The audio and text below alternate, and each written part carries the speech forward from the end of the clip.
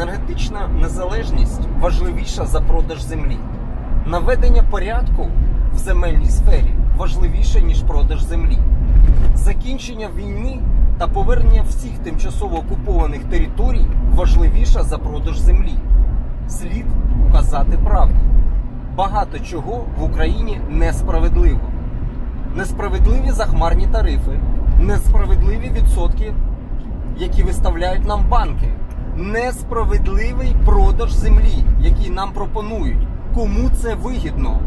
Слід повертатися до такого поняття, як справедливість. Не буде справедливості, не буде порядку.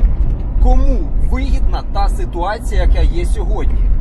Мізерні зарплати, мізерні пенсії для українців на Україні це несправедливо. Продаж землі. Чи можливий він сьогодні в Україні?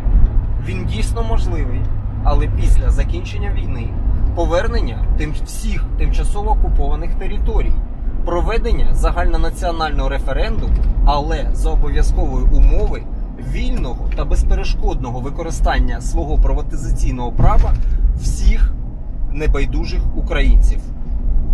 Допоки у нас є українці, які за, завдяки корупційній складової не можуть реалізувати своє приватизаційне право, не про який продаж землі ми не можемо говорити. Земля це наше багатство, земля це гроші.